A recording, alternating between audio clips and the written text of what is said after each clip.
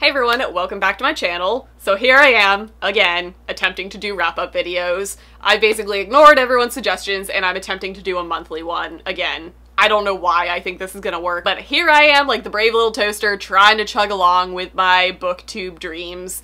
So, in the month of January, I read 21 books that right there is a big part of why I don't do monthly wrap ups because I read a lot. 20 to 30 books is about average for me. I know that's a lot of books for a lot of people, but that's about what I average every month. So it's very hard to do that many books justice in a reasonably length video, so I just kind of gave up on doing monthly wrap ups. But here I am. attempting yet again, mainly because I've seen the trend change in wrap-up styles. Instead of booktubers discussing books in the order that they read them, they are starting to discuss them in the ratings that they gave them. So you start with your least liked book of the month and you work your way up to your most liked book. That seems fun. I want to do that. So, wish me luck. I think this is going to be okay. We'll see how this goes. It could be like a hot dumpster fire by the end of this video. Without further ado, let's get into the 21 books that I read in the month of January in the order that I liked them. So starting with my least liked, I am starting with A Promise of Fire by Amanda Bouchet or Bouchette. I think they actually said Bouchette in the audiobook version, but I want to say Bouchet because it sounds bougie. But this is a book that I wanted to love so much. I have learned about myself, especially in the fantasy world, that I'm a character driven reader, which is rare for fantasy books. Most fantasy books, especially in high fantasy, tends to lean towards plot driven, and I understand that. I can appreciate that. But I'm slowly learning that my taste is definitely character driven and like relationship driven, not necessarily romance. It can be friendship, it can be found family, anything like that. So, this book had all of the buzzwords that make me grab a book. This book started in a carnival setting. This book has a lot of sexy time in it. I'm gonna read that. This book has a lot of kind of found family elements in it. It's also set in a world that the magic system deals a lot with gods and demigods, which is not necessarily a buzzword for me, but I was intrigued to see how they wove it in. This is also one of those books that pops up a lot when I see people looking for recommendations um, that are similar to Sarah J. Maas, specifically her new adult-ish type stories. Basically fantasy with sex in it, okay? I'm gonna be blunt. That's what I was looking for going into this. So this book had the makings to be something that I would gush over. I would love this book. I would devour this book, and it had all of those elements in it. But the one thing that I just could not get past with this story is the kind of dismissal of consent, which kind of ruins the sexy times. It kind of ruins the relationship building because the line of consent was blurred through most of this book. If they had just set up the romance in a different way, I would have been on board 100%, but the basis of the romantic relationship in this story is the fact that the love interest kidnaps this woman because she holds a lot of power and he wants to basically drag her back to his kingdom that he is kind of building from the ground up. So not only is he like demanding that she goes with him and she doesn't have a choice, he is physically tying her to him. Like they are bound by this magical rope and there's a lot of sexual tension, but all of the sexual tension is told to us through our protagonist's internal monologue. So we see that she's okay with the stuff that's happening, but he doesn't see her internal thoughts. So he does not see that she is okay with all of the really forceful, really aggressive sexual advances that he makes on her and it just didn't sit well with me. I just couldn't get past it. Had they started on any other foot for this relationship, I probably would have been on board. It just didn't fly with me, and I feel like that's something that some people might be into because it kind of touches on like Stockholm Syndrome stuff, like hostage kidnapper, which is some people's kink. That's cool. That's valid if you're real into that, but it just did not sit well with me personally. So I gave this two stars. The first three star book that I have is Air Awakens by Elise Kova. This is another one of those fantasy stories that had all of the makings of what I should love in a fantasy story, but it just didn't like deliver the way that I wanted it to. This deals with elemental magic, which is something that I will always grab for, specifically because I grew up watching Avatar The Last Airbender, and that is why this book only got three stars for me, because I feel like this book was such a rip off of that, and that's something that I don't want to say I couldn't get past it, but it was something that was in the back of my mind the entire time that I was reading it. So this is definitely set up where there are different um, magic wielders in these kingdoms who can wield different elements And the element that has been missing for the past couple centuries is air. And our main character is the last found wind airbender. I forget what they even called it in this, to be honest, but it was so parallel to Avatar that I just couldn't. Like, if it had been any other element that had been missing from the kingdom, I probably would have been fine with it, but it was the fact that they made airbenders the, like, sought after missing element for so long. I was just like, oh, come on. Everything else was fine. The relationships were fine. It didn't wow me, but it held my attention. It was very fast. It's more of a new adult fantasy series. It gets a little bit more mature. Our characters are like older teens into their 20s. So I may continue with the series just to see where it goes because I did enjoy reading it, but it just Stop being Avatar, okay? The next book that I got to that was a three star is What If It's Us by Becky Albertalli and Adam Silvera. And this wasn't terrible. That's a great start to a review. Um, okay, so I had high hopes going into this because I adore Becky and Adam. I think they are so precious in real life. I adore both of their books, like, separately, so I was really excited when they were gonna come together and write a, like, queer, adorable, meet cute romance. That sounds like the makings of something amazing. This book, I liked it. I didn't love it though. I feel like Adam's perspective in his writing where he writes very real and raw situations and relationships where they're not all fluffy romance, rainbows, and magic. Um, he keeps everything very grounded and very real to what relationships are actually like. And Becky tends to add a lot of like sass and snark and fun dialogue and kind of cutesy romances so I was curious to see how this was going to mesh. And in my opinion, it wasn't great. Um, I feel like it was a little bit long for what the story ultimately came out to be. It was a lot of very real relationship drama. But what didn't sit well with me is the fact that this is kind of advertised as a meet cute. It follows two boys who meet at a post office while one is trying to ship away a box of his ex-boyfriend's belongings and it was just, it was an adorable meet cute, and I feel like they kind of set up the groundwork for a really cute romance, but they brought it back to being a very real relationship where they both are kind of awkward, they don't really know how to be in a relationship with each other, and a lot of cringy situations happen, which is real. That's true to real life relationships, but that's not necessarily what I want to read for the entire book, if that makes sense. Like, I liked that it was a very real representation of, like, young dating, but it was like I wanted a little bit more cute and less real, if that makes sense. So this one, I gave it three stars.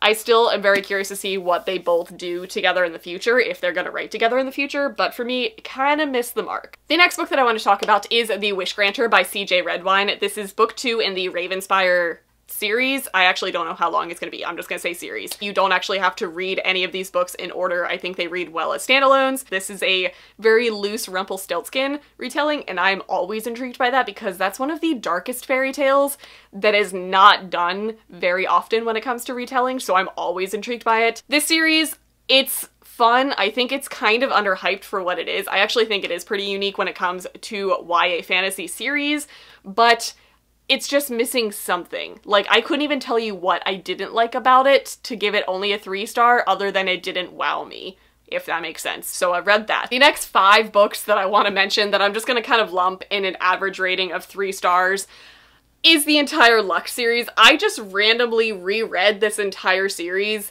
I've been on a rereading kick recently, and this is honestly one of my favorite guilty pleasure paranormal romance series, and I just wanted to see if it held up and it kind of did, mainly because I feel like the first time I read it, I wasn't blown away by it. Like, this series doesn't take itself too seriously. Like, it kind of mocks its own tropes within it. I love Jennifer L. Armentrout. Her writing is like candy for me. It's very easy to read. It's very easy to get addicted to it and just fly through all of her books. So, I reread all of these, all five of these, and I, I'm gonna average all of the ratings to about three stars just because I really like them, but they're nothing spectacular. But a big part of why I actually did reread those is because I wanted to read The Darkest Star, which is her newest release, and this is a new spin-off series from that series, and this follows characters that we meet in the Lux series, but this takes place a couple years later when they have grown up and they are now kind of in the protagonist love interest age range, which I was really intrigued by because Luke, who is our main character in this, or actually Evie is technically our main character, the love interest in this, is one of my favorite characters from the Lux series. He was one of the most intriguing characters that you feel like you were missing something from, like you didn't get his full story and we're starting to get it and I kind of love it. I ultimately gave this three stars as well. The only thing that I didn't like about this is the direction she took a character from the Lux series that I was so interested in and I'm I can't say anything more than that without spoiling it because it honestly would spoil this entire book. It would spoil your impression of them in the first series. I just didn't like where she went with the one character. That's all I'm gonna say.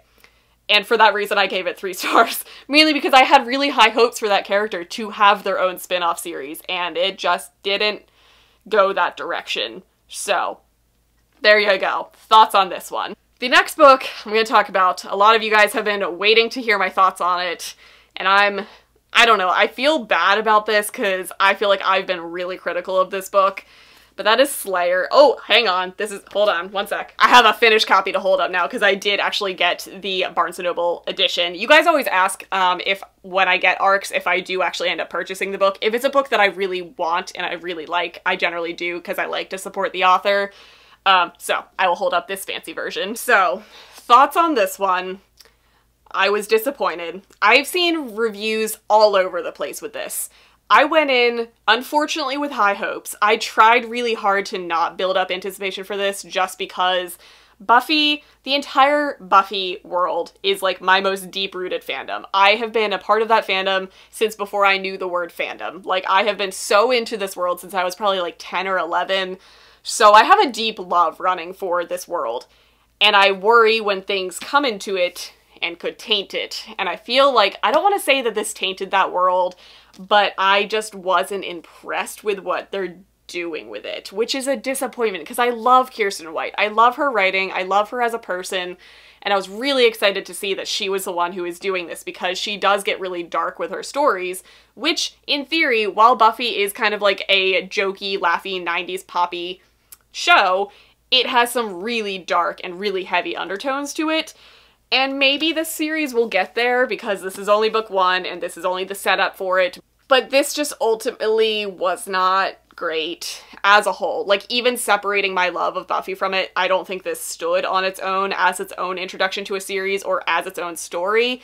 A lot of this book was info dumping what has happened from the end of the show up until this point, and a lot of that info dumping is bashing Buffy. And I feel like if you're gonna try to appeal to fans of Buffy, you probably shouldn't throw the main character of the beloved show under the bus. And uh, that's what a lot of this book does. And I mean, it ultimately, like, the viewpoints change as the story progresses, but it was just not it rubbed me the wrong way because I was like, stop trashing Buffy, okay? She did a lot. We love her, okay? Just let her be. Let her be her own little queen. She did her own world saving multiple times. Let her live her own life now. Things that I did like about this, I feel like the dialogue did stay true to the show. It's a very witty, very snarky type of dialogue that fits in with the show. So I feel like that stuck true and it felt like we were establishing our own Scooby Gang um, but what I didn't like is that it was just slow moving. It was, there was almost no action scenes. Like, I can think of maybe two to three scenes where, like, fighting happened,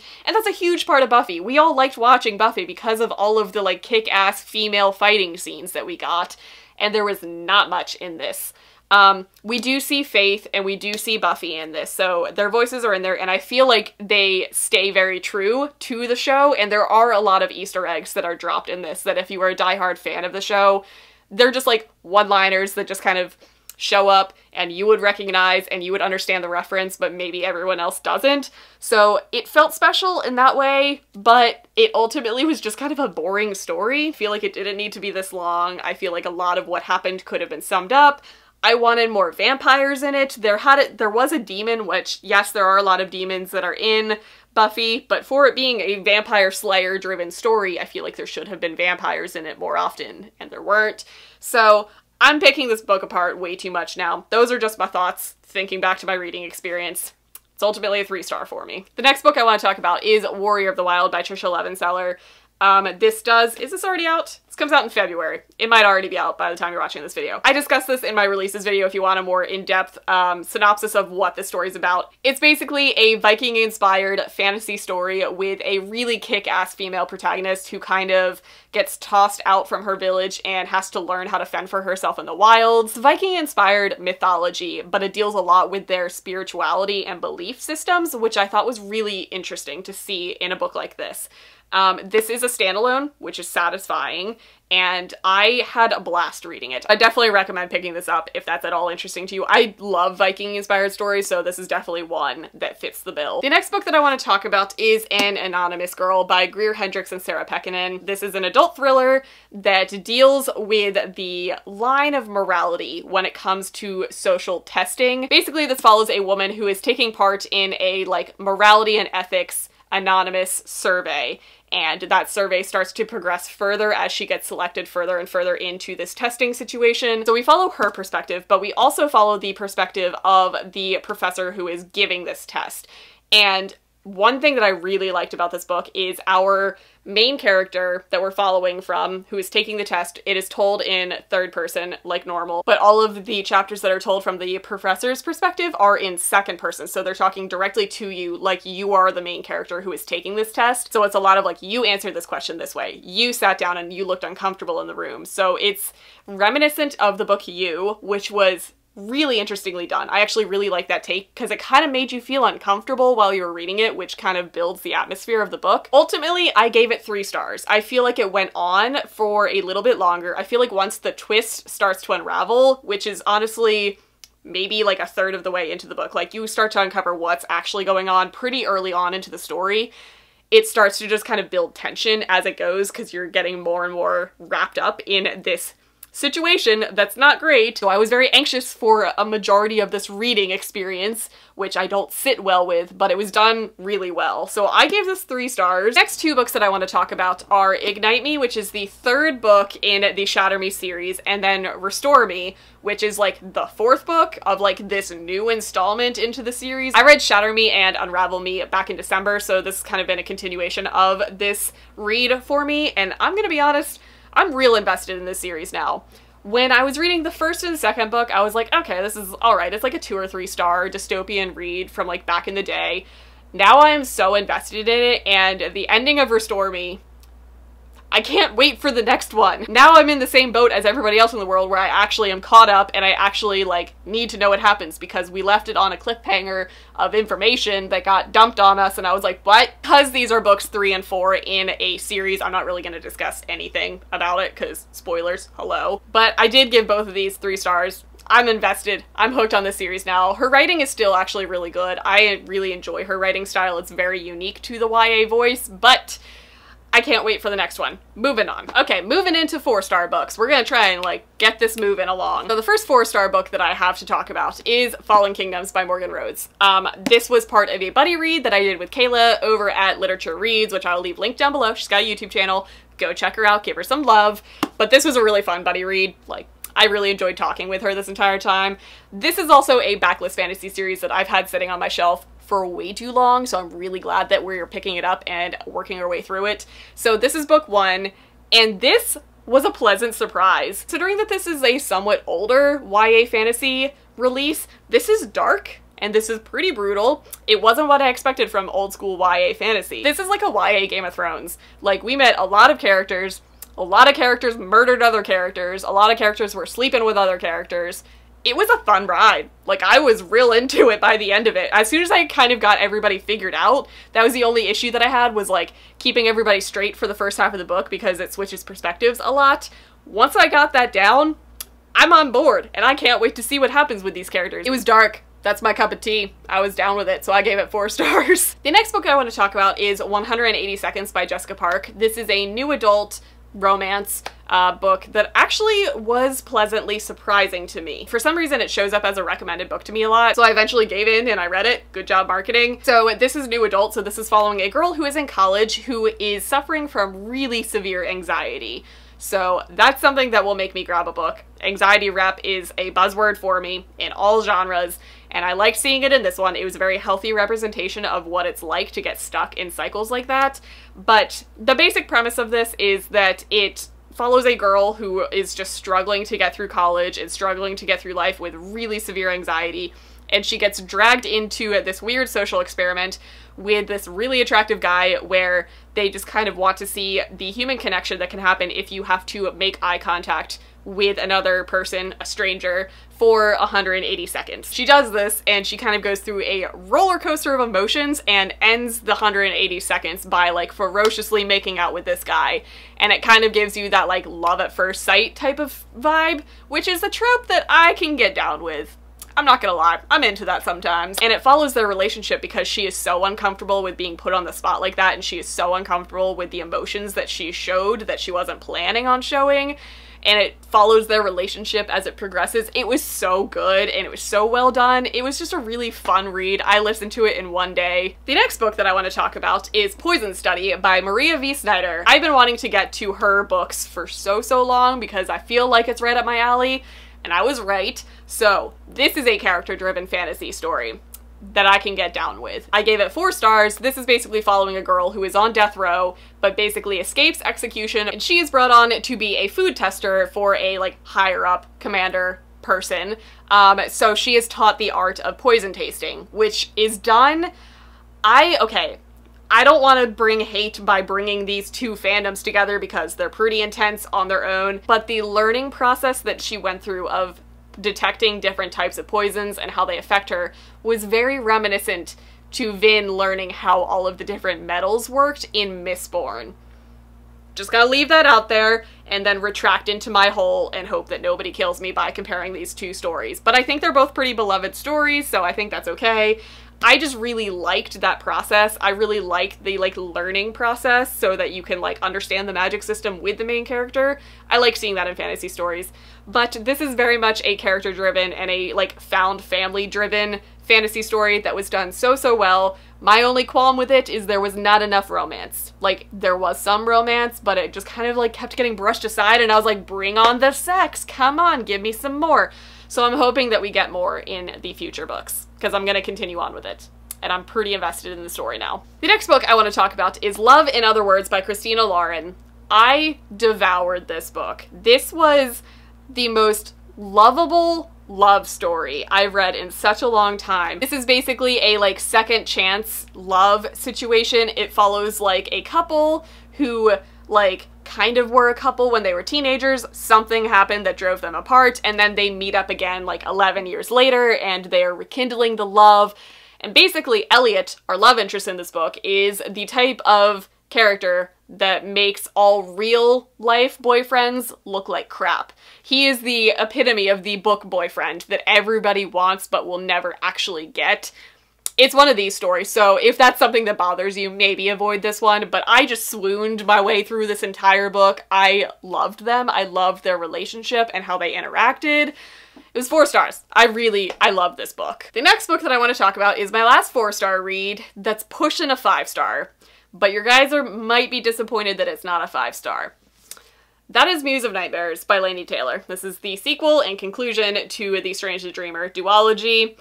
I loved this. Her writing is unlike anything that has graced the book world in many a generation. This is obviously the sequel, so I can't really discuss much about it without it spoiling things. I feel like at this point most people know who Laszlo and Sarai are at this point, so I guess, mini tiny spoiler, their relationship was precious. Like, I adored their relationship from start to finish. I adored Minya. Minya, I think, is one of my favorite characters that I've ever read about. She was just such a complex character that I didn't expect to feel so many emotions toward through the entire progression of this. Um, Nova and Kora was like the coolest addition from book one to this one, and everything revolving them. Okay, I don't know how to discuss this book without spoiling book one, so I loved it. I didn't love it as much as the first one because I feel like what I loved about this world was the setup and the introduction to all of it and all of its complexities.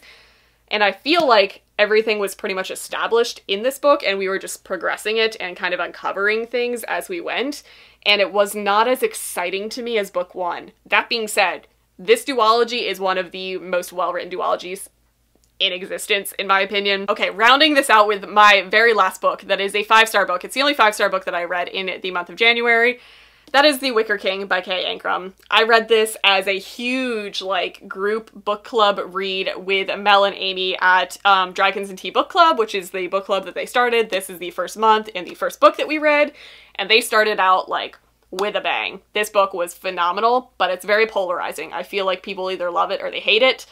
I was on the loving it side. I think it was really well written and like very uniquely done. This basically follows a relationship between two boys that starts as a very deep friendship and kind of evolves further than that as one of them basically sees hallucinations. He sees a world on top of our world and he has a harder and harder time differentiating what is real and what's not. But in this fantasy world, his best friend is a key player in this world and they have to like work together to kind of navigate through his fantasy storyline along with his mental illness storyline and this is that book that I always talk about where the pages get darker and darker as he gets further and further into his madness. The relationships were so complex in such a short amount of time. But the relationships in this were so dense and so dark and raw and primal for a YA book and it was just done in such a way that like it wasn't explicit but it was present and you were aware of what was happening between these two because it was very much a like dependency type of relationship between the one boy and the other and it was there were some power dynamics between them that you don't explore in YA. It was mm, this book if you are curious about it, give it a try because it's worth it okay? You might hate it, but you might also love it. Okay, that's the end of this video. Whew, I'm exhausted. That was a lot of talking. I don't really need to give you much of an outro because this video is already really long, so I hope you guys enjoyed it. Let me know down in the comments what you guys read in the month of January, and I'll see you guys in my next video.